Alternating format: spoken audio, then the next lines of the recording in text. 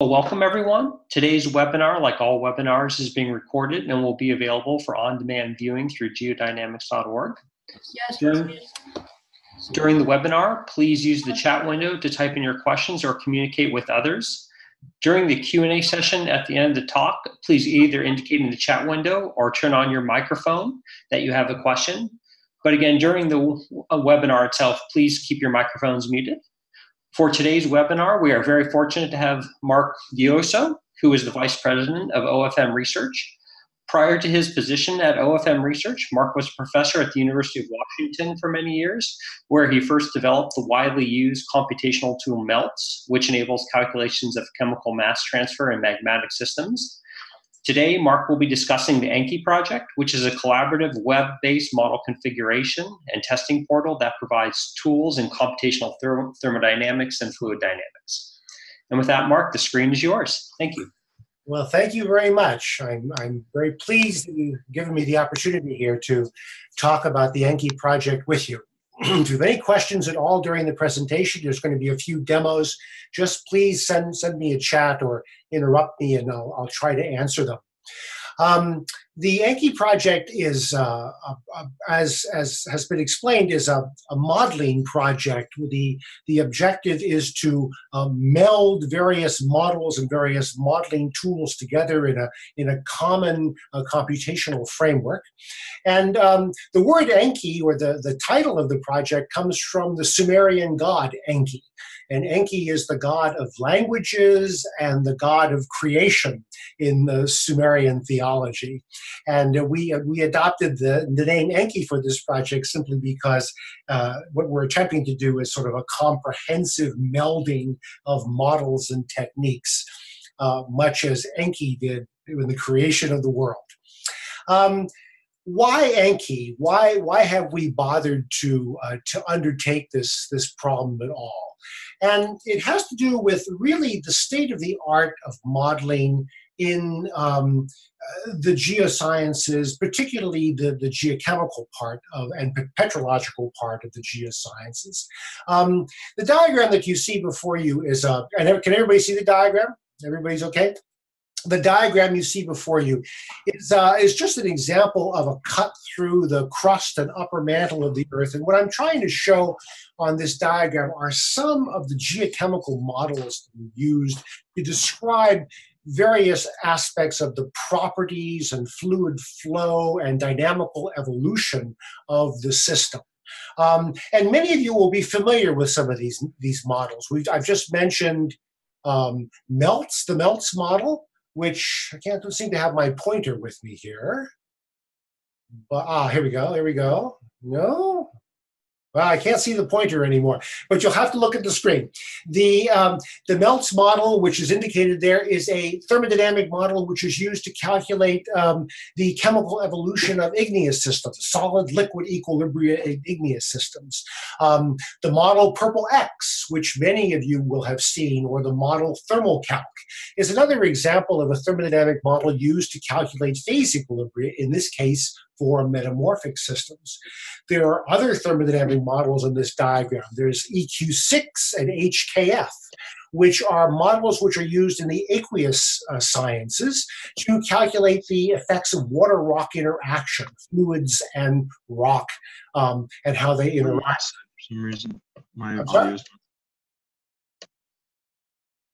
Something wrong? Oh, uh, then then there's the um, uh, the melts plus dew model, which is used to calculate the consequences of magmas interacting with aqueous fluids, and so on and so forth. There's a wide variety of models on here, and then there are fluid dynamical models like Aspect, which everyone in this group is familiar with, and TerraFERMA, which is um, a model for uh, fluid dynamical evolution that Marc uh, Spiegelman is is working with the reason I have all these models up here is, is, is the following. All of these models are based on data, on thermodynamic data model collections, which are essentially independent of each other. And most importantly, inconsistent thermodynamically with each other. As an example, MELTS is built on a completely internally consistent thermodynamic data model collection, which is unique to just MELTS. EQ3, EQ6, SUPCRT, these aqueous solution codes, those are based on thermodynamic data model collections that have nothing to do with the ones in MELTS. Perple_X is often used by, by wide variety of modelers in this community, and yet you can put whatever data you want into Perple_X to do your calculations. No requirement of internal consistency. The models of THERMOCALC from Holland and Powell and Lars Stixrude's models are also internally consistent but isolated. And as, as, as sure as most of you know, when you go to run a fluid dynamical simulation, usually the criteria is whatever property model runs faster is the one that I'm going to use. Because to do a complete thermodynamic minimization as part of the fluid dynamic simulation is computationally prohibitive and just not cost effective. So you have this disparity in the kinds of data that goes into all these models. So if you're asking these models to talk to each other, you have a real problem. You have to somehow make them internally consistent. And the problem there, or the and the, the um, situation as it exists right now, is that there is no support infrastructure. There's no modeling framework to allow you to adjust the thermodynamic models or the properties models that go into these various structures. And on top of that, there's no comprehensive way of visualizing results of these models. So we have a situation that is really, um, it makes the whole modeling procedure very, very difficult, and it makes uh, it makes the ability to combine models from various sources almost impossible. So what did we do? We decided to, to, to attack this problem of inconsistency of various formulations with the Enki project. And the Enki project is, uh, is one where we have created a standardized interface to all of the existing models and a standardized software interface for building uh, and recalibrating the existing models to make them internally consistent with each other. So the Enki uh, uh, project involves creating the fundamental or, uh, or building the fundamental data resources for updating and maintaining the various models that go into these modeling packages, building a calibration framework for updating and documenting the models, and then uh, creating a, a, a, sort of a comprehensive um, visualization framework for looking at the results of these models. Now, of course, we haven't achieved all aspects of this project with Enki, but I want to talk today about some of the things that we have been able to do and, and how we've been able to implement that. So um, the first thing is what what how how are we trying to describe how are we trying to create this this comprehensive modeling environment? We've chosen Jupyter Notebooks as an access platform for the underlying software infrastructure. And we then uh, created a standardized API for all of the existing coded models of thermodynamic properties that can be accessed through these, these Jupyter notebooks. Um, and we've created standardized API for accessing the underlying database of properties that, that support the model creation. Now, this is really, really important because for the first time, we now have the ability to look at uh, or to examine various calibrated thermodynamic databases and compare them to each other. Up until now, there really has not been a way to do this unless you code them all up yourself. Um, the major coding uh, language that we were using in Enki at the high level is Python. So the access to the databases can be done in Python through Jupyter Notebooks. But the underlying computations are done in a wide variety of languages uh, for speed purposes. Um, what what really Enki is trying to address is, as I said already, this idea of interoperability of models, the ability to update models, to access and distribute them, and to document reproducible workflows. And I think that's really, really important. There are too many papers that appear in the literature that um, that that essentially document the results of modeling without the ability to actually reproduce in detail how that modeling was done. And Enki is trying to address some of this. Um, the other thing that it's trying to do is to um, remove the dependence of the community, and this is particularly so of the geochemical and petrological community. It's trying to remove their dependence on apps. Most of the most of the researchers in, in that community use existing pieces of software that do very specific things, like MELTS, for example, and uh, perform their, their research activity using these modeling tools within the scope of the tool and do not try to go outside of the capabilities of that tool. Perhaps the worst possible case of this is the incredible dependence of the geochemical community on Excel.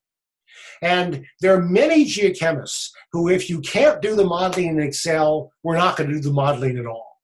And that's really quite sad because it does limit the kinds of things that can be done. So uh, Enki is trying to, to get out of this by creating a standardized API for the software libraries and encourage people to actually learn a little bit of Python and go in and access the, the tools directly and build the application or build the modeling tool that you're, you're, you're interested in using, not the modeling tool that is simply available. We're also in Enki trying to encourage some synthesis science. And that's a goal that, that lots of people have. Um, what's currently in the Enki package? The Enki Python package, which is freely available on GitLab, it's open source, it has a number of modules. It has a module that's uh, built to uh, facilitate the calibration of thermodynamic models and other sort of property measurements. That module is called Calibrate. It has a module called Coder, which is built to actually construct a fast code from scratch and use that then in the as a, as a modeling tool. Either integrate that into existing thermodynamic databases or integrate that into existing fluid dynamical simulations. And I'll show you a demo of that in a second. It has some core facilities to do basic chemical transformations. It has a new module to um, to uh, allow equilibrium calculations to be done using generic equilibrium calculators. I won't have time to show you this today, but we can now do equilibrium calculations in both closed and open systems.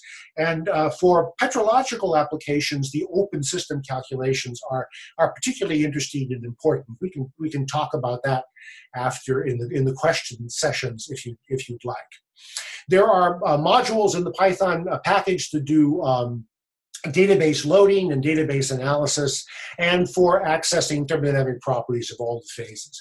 Right now, the Enki package contains the thermodynamic database of uh, Berman and Holland and Powell and sticks Stixrude Lithgow Bertelloni. Berman is uh, aimed at low pressure uh, phase equilibrium. Holland and Powell is slightly higher pressure, including the lower mantle, and has a wide variety of, of, of mineral solid solutions involved. The database of Stixrude and Lithgow Bertelloni uh, is aimed at calculating phase equilibria in, at very high pressures. Uh, particularly in the in the Earth's mantle all the way down to the core and, and other high pressure bodies.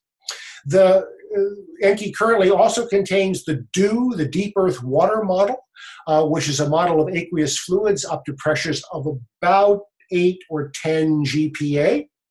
And it contains the Helgeson Kirkham Flowers and extension uh, aqueous ion and complex model for uh, water rock interaction at uh, crustal sorts of, of, temperatures and pressures.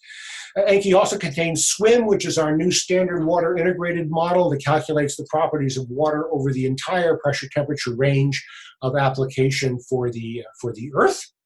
And then it also contains um, melts in, in, all its varieties and our new uh, combined melts plus DEW model that allows you to look at the partitioning of aqueous fluids uh, from magmatic systems and vice versa.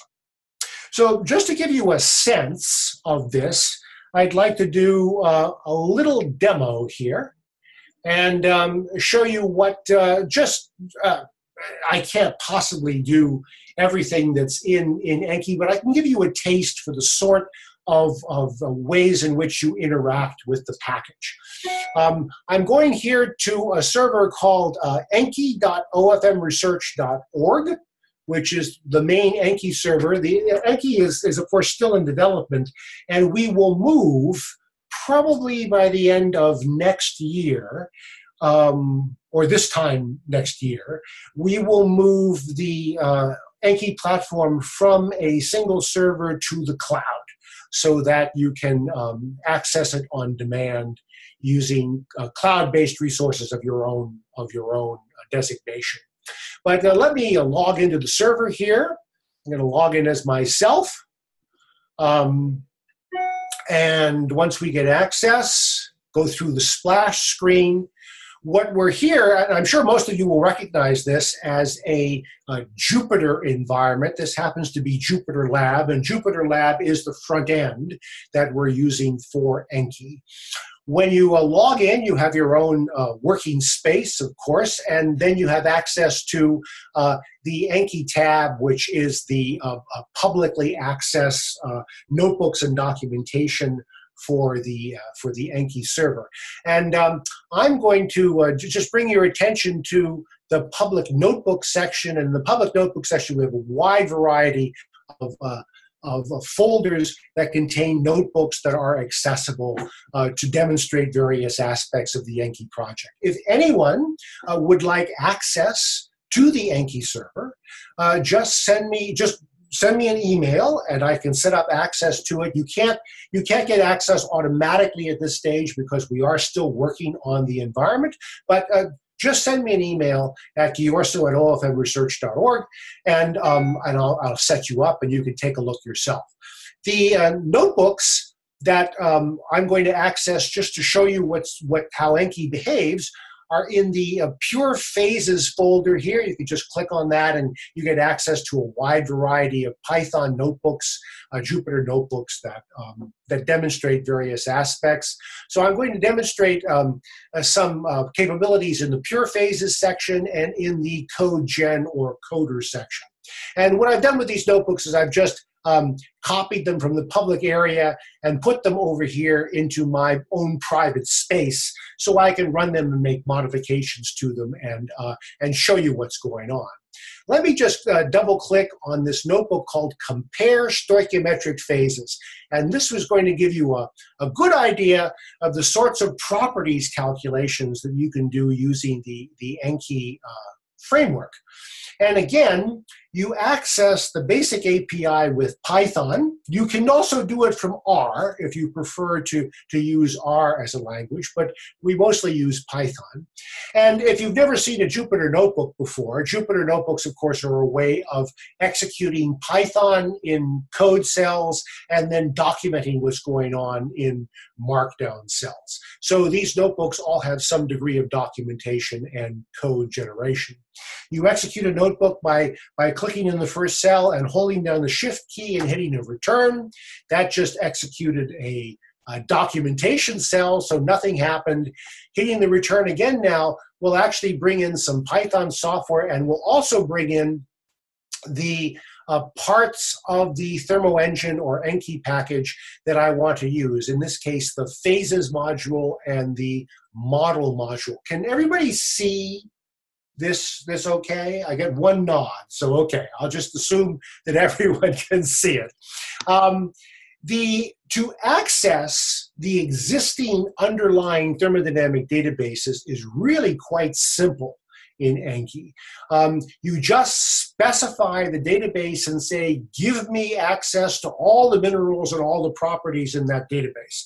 So in this line here, for example, uh, all I'm doing is um, accessing the default database, which is Berman, and loading it into this model structure. Here I'm accessing Root. here I'm accessing Holland and Powell. And so with a single shift return, we now have access to all the thermodynamic properties and all the calculational schemes that allow you to calculate any thermodynamic property from any of those databases. So um, what I'm going to do, just go through this and show you, what I'm going to do is pull the properties of quartz from all three of those databases. Now, quartz is a very common mineral. And you would expect that the properties of quartz are going to be pretty consistent between any known thermodynamic database. At least that would be my expectation. Let's actually see if that's correct. And again, for the first time, you can do this in an Enki notebook, an Enki Jupyter notebook. Beforehand, you would have to, to, to calibrate all of this yourself, or calibrate, you would have to um, program all of this up yourself, write the functions. It would take you a long time. Here, we can just, with a few keystrokes, figure out what's going on. Let's just do something very, very simple. Let's calculate what the heat capacity of quartz looks like as a function of temperature at one bar. And in the process of that, plot it along with some data on the heat capacity that I happen to have stored in a file which is sitting on the disk next to this. So with a single return, we I, have we've gone through and we've called the Enki API on each of those three databases. It's calculated the heat capacity from the thermodynamic models that are being interrogated. It's plotted them and it's plotted up the actual data involved here. Now let me just blow this up a little bit because I know you're going to be uh, because I know you're going to be hard pressed to see it. Let me just zoom in a little bit here. This better for people? Yep, that's yes. great. Good. And, and you can see the data here are in green. The model of Berman is in red. The model of Holland and Powell is in yellow, which sits essentially on top of Berman. The model of Stixrude here is in blue. And you can see that for the heat capacity of quartz at one bar, not all thermodynamic models are created equal. That's important to know. And in fact, we could go through and we could do this for any of the thermodynamic properties. We can do this, for example, for the entropy by just calling the entropy functions rather than the heat capacity functions, and again, plot them up and compare them. And you can see in this case, the thermodynamic properties calculated from Berman are exactly correct with the measured entropy at one at one bar and 298 whereas the thermodynamic properties from Holland and Powell and Stixrude are not. Now, why is this the case? That's, that's something that we could get into and talk about, but it has to do with the fact that not all thermodynamic databases are created to do every problem. The Berman database was created to be able to reproduce these low temperature, low pressure data. The Stixrude database was not. The Stixrude database was only created to work above one GPa. The Holland and Powell database was optimized to do other things. And so we have a way here of just looking at them all. But my point in showing you this is simply that it's possible to calculate thermodynamic properties rapidly for any of these databases using the Enki protocol. And um, and it, and it works quite well. So let me give you one more example before we go back to the slides, just to give you a sense of how you can use a very complex thermodynamic model with Enki. And uh, let's do melts, since many of you are, are familiar with melts, or many of you would be, will be familiar with melts. Um, let me click on the melts notebook. There are many, many melts notebooks in our collections. This happens to be one that does the model P-melts. And P-melts is a high pressure or higher pressure liquid solid phase equilibrium model for, for calculating, for example, the way the Earth's mantle melts or the way the mantle of terrestrial planets would melt. It simply allows you to uh, specify a temperature and pressure, calculate the phase equilibrium, including the amount of liquid present, and then determine the compositions of all the phases um, that represent the equilibrium assemblage. To run melts in the Enki framework is again pretty simple with just a little bit of Python. Here, we just execute a cell that brings in some standard uh, uh, Python packages as well as the Equilibrate package of Enki. And the Equilibrate package contains the, uh, the melts models, the equilibrium models that implement melts. Uh, here, we invoke and create an instance of a melts model for version 5.6.1, which is PMelts, which is this mantle melting model. And here we simply get some information about oxides and phases in the system. Then we specify the bulk composition of the system. In this case, it's a a typical mantle uh, bulk composition for the Earth. And then we just set up the calculation. We say, yes, we want to include various phases. We can select them one by one. And then once that's done, the single command melts equilibrate with specified temperature and pressure will actually execute a melts calculation and there's the output of that melts calculation. So this will be the equilibrium phase assemblage at temperature and pressure.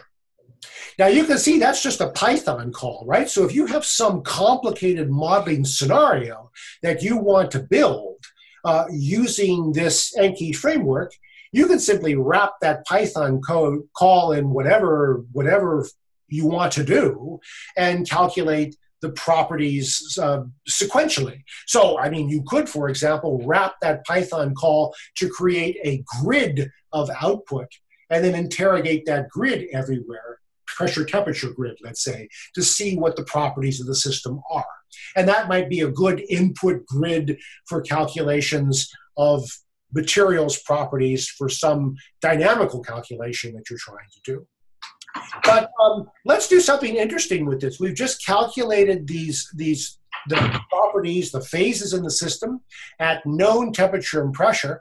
Since this is a thermodynamic model, we can extract at that temperature and pressure with that known phase assemblage the total entropy of the system. And not only that, we can then tell Enki that I want to run the simulation at whatever entropy I tell it and whatever pressure I tell it. Now that's a that's a thermodynamic equilibrium that is calculated by minimizing the enthalpy of the system rather than the Gibbs free energy. And we can do that with the Enki package. We can minimize the enthalpy, the Helmholtz energy, the internal energy, or the Gibbs free energy and calculate the consequences of that. So if I do that, I just get back, I put in the entropy that I that I just calculated, so I get back exactly the same assemblage. But now, what can we do? Now we can say, okay, let's examine the process of adiabatic melting in the mantle. Adiabatic melting is a process which takes place at constant entropy. So now let us hold the entropy constant and let us change the pressure and calculate what the phase assemblage is. And this little block of code here, it may look very, very complicated, but basically it's all plotting code. There's only one little bit of code in here that actually does the calculation. It's right in here. Oh, you can see my my mouse here now. It's right in here. We're just holding the entropy constant because the entropy increment is zero. We're allowing the pressure to change. And if I execute this block of code right here. It will do melts calculations at a whole series of different pressures from uh, 1 GPa all the way down to uh, 100 MPa. And uh, as it does the calculation at all these pressures, it's holding the entropy of the system constant. It's doing an adiabatic melting calculation and actually calculating the amount of liquid which is produced and the change in the solid assemblage. And also calculating the dependent variable in this case, which is temperature. We're holding entropy constant. Temperature is dependent. It's determined by the adiabatic gradient. And the solid black curve here is the adiabatic calculated temperature read from this axis. And you can see that it differs quite a bit from the uh, standard temperature decrease that you might expect going up along an ice, a geotherm. And of course, the reason the adiabatic temperature is different from the geotherm has to do with the fact that there's changing phase proportions and there's phase equilibria uh, transitions going on as you move up the gradient. But the details of that are, are, are more interesting to the petrologist. But what I think, uh, what I want you to gather from this is that you can, with the Enki package, do some very, very complicated, um, and sophisticated modeling, all within the context of these Jupyter notebooks. And it is, is pretty easy to access them, get at the data, plot the various quantities, and so on and so forth. All right, that's my, that's my first demo. What I want to do is go back to uh, the, uh, the slides. And this is the slide that I showed before, but what I'd like to focus on just a little bit is, um, is this module here called Coder, which is part of the Enki package. And Coder is an interesting module because it allows you to actually create um, thermodynamic models or property models from scratch and then automatically generate computer code that implements those models. And then you can use that computer code any way you want. You can read it back into the thermodynamic equilibrium property generator, or as, as my colleague Marc Spiegelman is doing, you can take that generated computer code and feed it into um, dynamical models and use it to calculate the properties that are necessary in the dynamical simulation.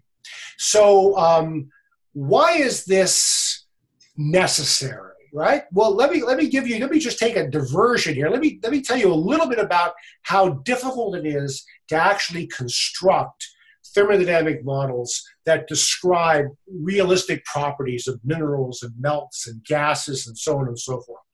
What you, what you have to do to do that process is you have to generate some theory, you have to do all of the necessary algebra and calculus to actually implement the various thermodynamic properties you're interested in from that theory. You have to code that up, you have to calibrate the model. Usually you have to start over again once you do calibration you have to create more code in order to do the application and so on and so forth. How long does this process typically take?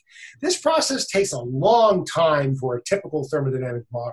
If we were to look at, for example, generating a new thermodynamic model for garnets that's applicable for the Earth, this whole process from here to here might take a year of someone's time.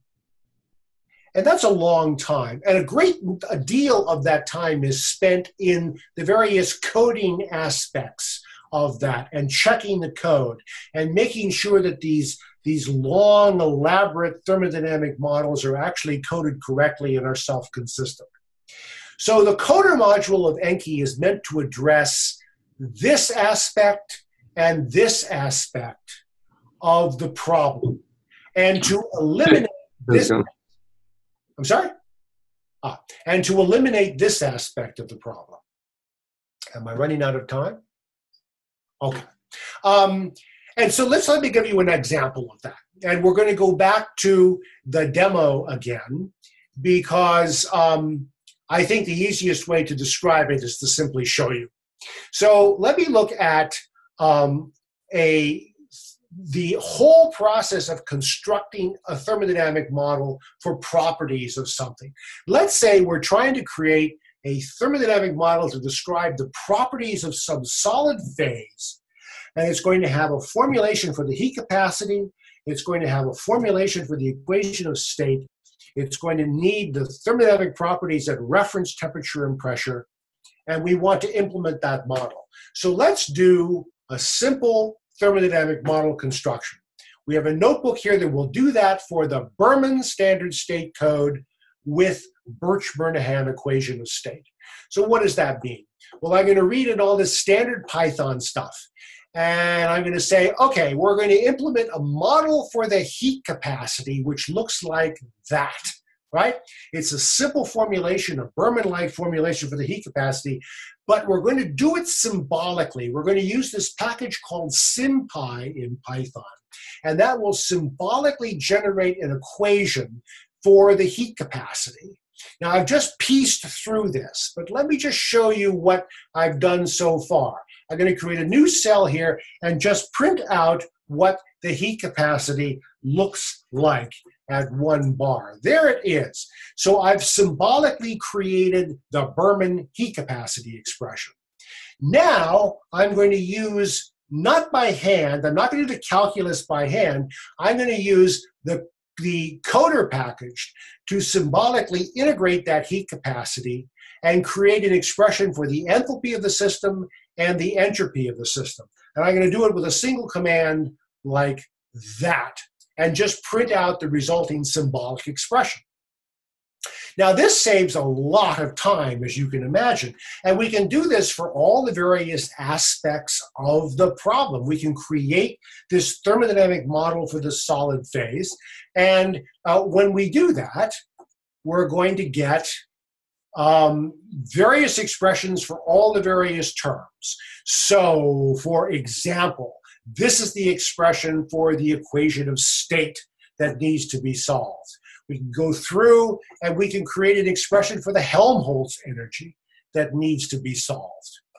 And it's taking the, the machine a little bit of time to do it, but there it is. There's the Helmholtz expression consistent with Birch-Murnaghan theory, consistent with the heat capacity of Berman. And finally, we can construct from the Helmholtz energy the final expression for the Gibbs free energy of the phase. All right? Now think about having to sit there and um, and compile this to write a computer program that actually implements this Gibbs energy function.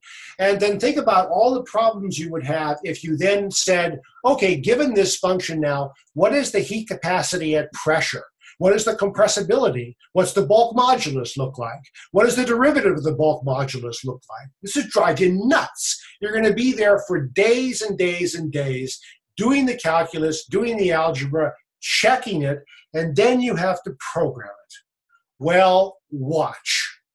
With this single command next, I'm going to load that Gibbs energy function and the Birch-Murnaghan solution that has to be solved into the model.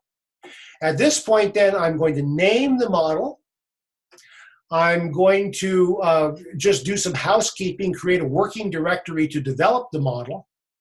I'm going to come down here and I'm going to say I want to create the fastest model possible. And now I'm going to load some parameters into this, uh, this model that specify the values of the heat capacity coefficients or the equation of state coefficients or whatever you want to do. I just happen to have those, those numbers uh, loaded from uh, some uh, offline database, but you could, you could put them in here if you wished. So there you go. And um, now what's it doing? I hit a return. Notice that it's this, there was this line here that said result equals model that create code module. What it's doing right now is it is actually creating all of the underlying code in C that implements this model.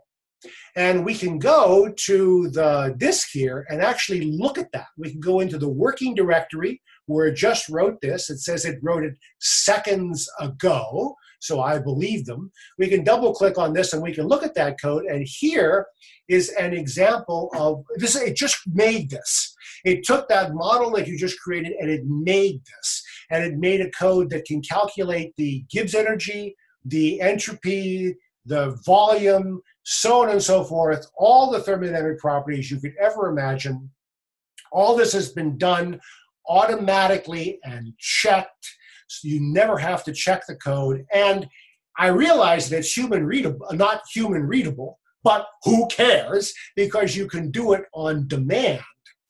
And now we can take this code, uh, and let's see, where are we here? We can take this code that we've just created, and we can now uh, reload it back into the notebook with an importation of the module that's just created. And once that code is reloaded back into the notebook, then I can actually use it. So, for example, I can call from that module now that I just created all of the properties that I that I that we just made, and we can also calculate all the thermodynamic properties um, on demand. So here I've just made a list of all the thermodynamic properties that are consistent with that Gibbs energy expression, and they've just come back. The really amazing thing, and I think the important thing for um, for you guys that are that are interested in in in uh, fluid dynamical uh, uh, modeling and in doing this sort of modeling is that the code that's produced is very, very fast.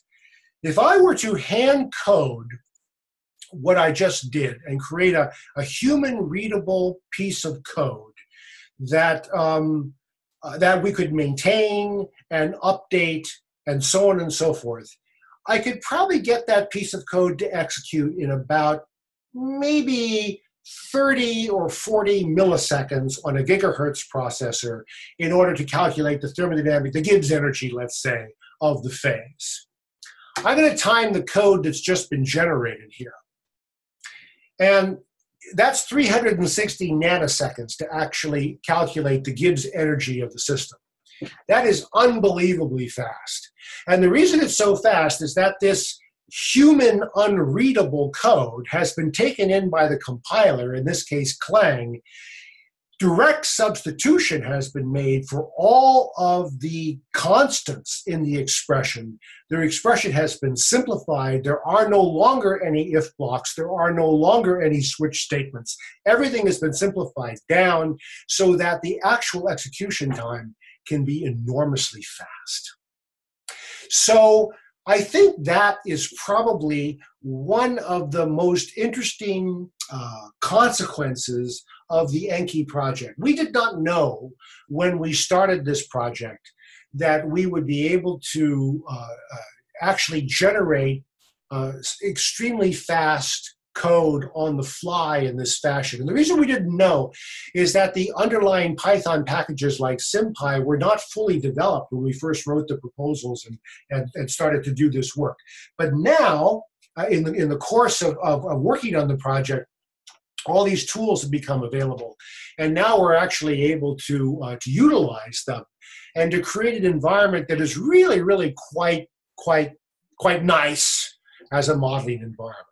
So let me go back to the uh, this this issue again, and and, and I'm trying to, trying to tell you that um, with this with this Enki project, we can streamline a lot of the aspects of of modeling, and um, we can make it so that more sophisticated property models can be used in um, uh, code like dynamical codes that in the past have been sort of rate limited because the ability to actually calculate the property using a real thermodynamic model was just so uh, time consuming that you really didn't want to do that and you made approximations as to as to, to do something else uh, as an alternative. But now we're at the point where we can actually do realistic property calculations like like uh, like melt calculations, like um, uh, heat capacities and entropies and enthalpies and Gibbs energies and phase stability calculations and very, very fast and um, and facilitate this integration. And we've also done done it in a way that allows um, uh, multiple different model types to be integrated using these common APIs. Um, in the in this in the Jupyter Notebook framework. Now, of course, if you don't like Jupyter Notebooks, as my as my colleague Marc Spiegelman hates Jupyter Notebooks. Well, just don't use Jupyter Notebooks, right? Use Python scripts directly, or simply generate the code and go and call the code directly. So uh, Marc's group is uh, taking the, the generated C code and wrapping it in C++ and then feeding the C++ into the, uh, the calculations that they want to do. Now I'm, I'm, just about out of time here. I had one more thing that I that I was was going to talk about, but um, let me let me just just gloss over this and mention it because I think it's kind of important. It's also arisen out of the Enki project, um, and then we can we can go to questions. And I won't take more than a minute on this. One of the things that we we, we encounter in working with Enki and in thinking about these sorts of problems is that the way we publish modeling uh, exercises is really woefully inadequate. I mean, the average paper that we publish nowadays looks at results of modeling exercises, but really does not allow you to uh, completely reproduce the model that's published. Um, and, uh, and part of that has to do with the fact that software evolves independently of the publishing process. Part of that has to do with the fact that you can't possibly publish all the bits and pieces in order to to to have a replicable model but um, we have a, a, a, a, solution to this, which we have not implemented, but we're really interested in, in talking about. And I remember having very, very lengthy and, and, and uh, uh, nice discussions with Louise Kellogg about this because she was a great component of having uh, a better method of, publish, of publishing uh, reproducible and replicable science this way. But um, we're thinking of actually um, developing this for Enki uh, as a prototype. And uh, the American Geophysical Union has actually been uh, uh, is pursuing this and may not adopt this very model, but is going to try to implement something quite similar to this. Uh, for G cubed. And the idea is to have a, a modeling paper that depends on uh, the data resources and system software and custom software like Enki, all part all coupled to a Jupyter notebook, which becomes the paper itself, and then to package the entire Jupyter notebook or notebooks uh, collection in a Docker container that can be instantiated in the cloud so that the idea of publishing a paper it becomes one of, um, of uh, examining a static version of the Jupyter notebook and then uh, transparently allowing that uh, collection of data and software and, and notebooks to be instantiated in the cloud and executed so that the entire package can indeed be uh, reproducible. And of course, the nice thing about that is the, the extension to this is that, well, then if you can if you can reproduce the existing analysis, then perhaps you can take the published paper and you can modify it and build your own paper on top of it. So this whole notion of cloning the container, instantiating it in your own uh, uh, laptop or desktop or, or cloud system, and then modifying it and developing a derivative paper that's based upon it, is uh, this notion that we're trying to uh, push uh, with, with Enki. Because we realize that once people begin to use this package extensively in their research, they're going to want to publish with it. And there's no sense publishing a static paper independent of the software because then what's the use, right? You need to publish a paper that can actually reproduce what it is you're trying to describe. And uh, we think a model like this is one that, that might be useful for that. Well, thank you very much. I hope the, the, this overview of Enki is something that you found interesting and, and perhaps useful. Great. Thank you, Mark. And we now have about 10 minutes for questions, everyone. So feel free to type them into the chat window or to unmute and then just ask directly. Uh, so we have, we have a question already. So in the publishing model, how does licensing and copyright work? Very, very good question. Who owns the copyright? If I can modify the notebook, then what does that imply about licensing? I think that's an excellent question. And and being naive about most of these things, I haven't worked through the details of that. But the people at the AGU are, are thinking about it. And the idea is to, um, at first, uh, launch this as, a, as an open source um, uh, uh, publication. Um, but the trick is, of course, is to give people credit. So the the the the notion of um, of just releasing something like this and then allowing anybody to use it for any purpose and not and not pull credit along with it is really important. So I think some mechanism has to be developed to sign the notebooks, uh, to allow modification um, to the notebook as long as you carry along the original, to uh, somehow make the publishing of the final product contingent upon a uh, sort of a, a blockchain-like access through the entire history of the of the uh, development. Um, those sorts of details I haven't I haven't uh, thought about in sufficient detail to really answer that question.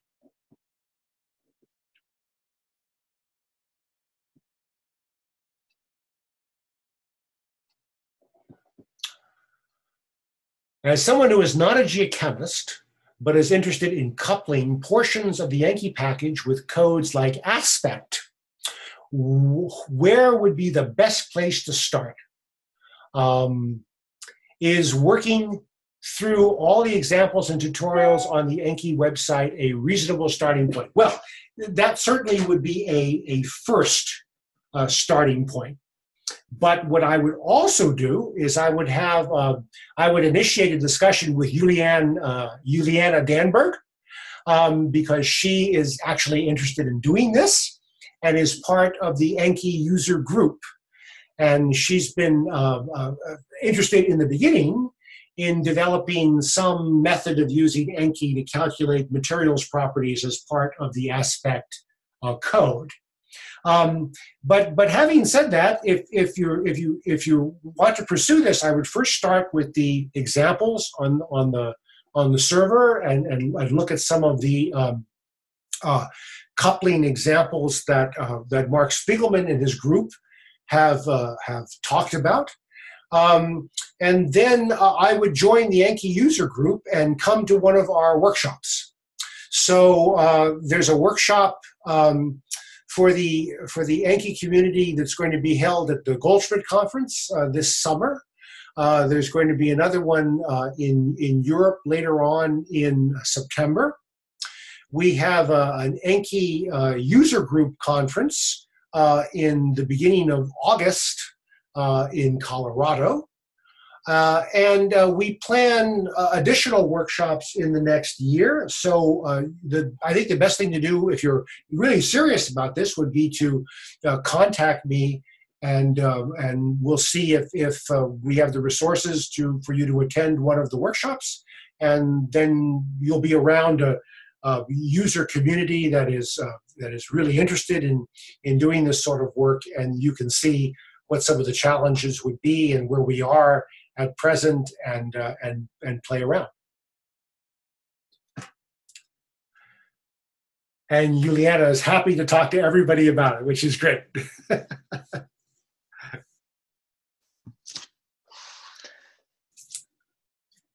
More questions, anyone?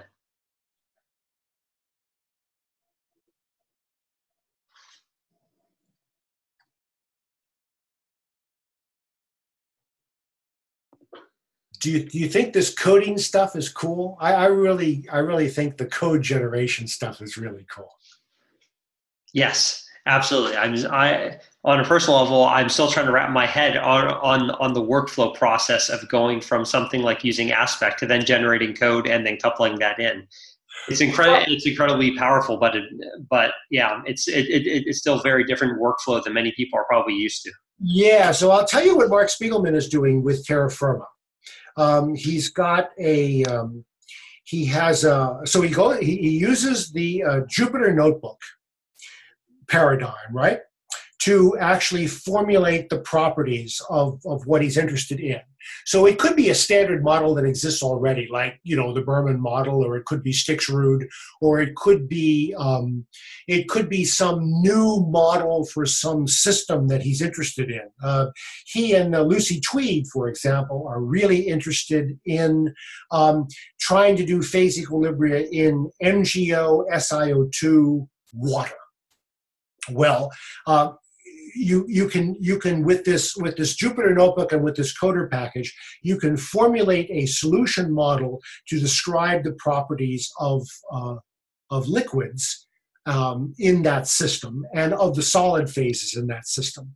So then from the notebook, you can generate the code, the C code that's necessary to implement all the thermodynamic properties that you might need. And then um, Marc and his students have scripts that automatically take that C code and generate it from that uh, from that uh, C++ calls to the C code, and then uh, automatically integrate that the, those C++ calls into the um, the TerraFERMA framework so that uh, and so that when they're compiled into a module, uh, TerraFERMA knows how to call them. And he uses various uh, configuration packages that are specific to TerraFERMA. But in principle, um, the most straightforward way to do this would be to um, use the notebooks to formulate the models that you require, and then use the coder uh, module in Enki to generate C code and then take that C code and and and wrap it by hand in C++ or perhaps just use it directly from Aspect. And um, and then that would be a way of, of, of, of using Enki to support the kind of material properties uh, calculations that you need for the aspect code. If we were to wrap, if we were to directly call some of the C packages from Aspect, would you suggest publishing those C files along with a paper or absolutely, absolutely, yeah. yes, yes, absolutely. In fact, what I would suggest you do is not only publish the generated C files, I would suggest you publish the Jupyter notebook that generated those C files. So then you have the complete workflow, right? Then people know exactly what you did and what you assumed to construct the thermodynamic formulation. They know how you parameterized it. Then they have the, the code itself that they might want to use that's generated. And then they have, of course, um, the results of the aspect calculation. But that way, all parts of the problem are, uh, are available.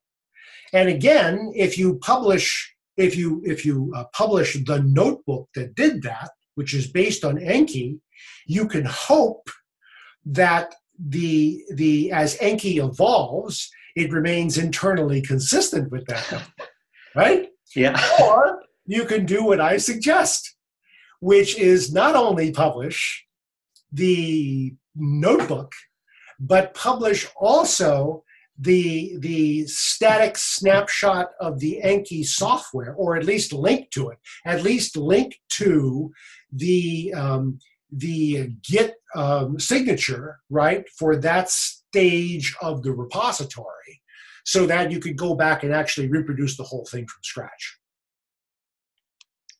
And and the all the Enki code is open source. It's available not on GitHub, but it's available on GitLab. And if anyone um, uh, would like would like to be pointed to it or would like access to it, again, don't hesitate to um, to notify me. I say it's open source, but it but and and it will be fully available at the close of the project. But right now it is it is open, but it's open to the restricted user community.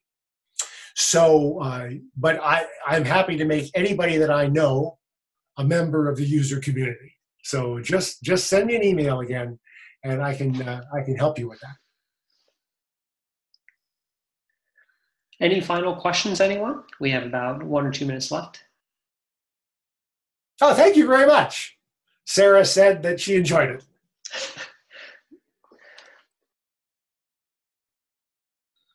well, if there are no final questions, thank you again, Mark. This was absolutely fantastic. It's going to be exciting to see. It's really exciting to see how people are going to use this down the line in the next few years. Uh, yeah, I'm. I'm really. This is this is one of the things that I'm really really excited about. So uh, let's hope we can continue building it.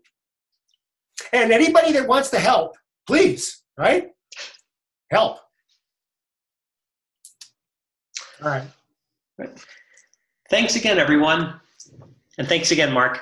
Okay.